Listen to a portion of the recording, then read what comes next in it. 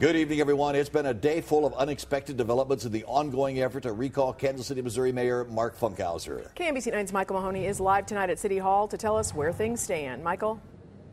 Well, the city clerk today has decided, despite the fact that those recall petition signatures came up 129 names short out of 20,000 that were submitted, there is no need to recount those petitions. On the right, one of the petitioners, John Redmond, getting the news that there would be no election board meeting to plan a recount on the petitions. The city clerk says there's no reason for Kansas City's board to meet since Clay and Platte counties don't want to recount either. All three counties were involved in the collecting of signatures, so you would need to have all three counties involved in the recount. It doesn't make any sense to me that um, the city clerk would let her decision be guided by those two counties. Thompson says one of the Clay County lawyers claims there are no provisions to recount petition signatures.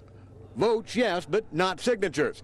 However, there is. In fact, just two years ago, Kansas City Attorney Todd Graves had a case forcing a recall vote against the Lee Summit council member Kathy Hoffman after the original ruling was the petition did not make it.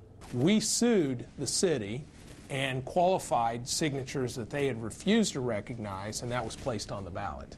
For a while today, it was thought the city council might make a move to formally ask for a recount. So I think you're doing them a disservice and maybe even the mayor a disservice because the question's always going to hang out there. There's always going to be controversy. For me, at least, there's always going to be controversy. Sign that this story may be headed to the courthouse steps. Uh, late this afternoon, the recall campaign announced that it had hired a lawyer, Brett Shirk, to handle what they expect to be a case and lawsuit at the county's court.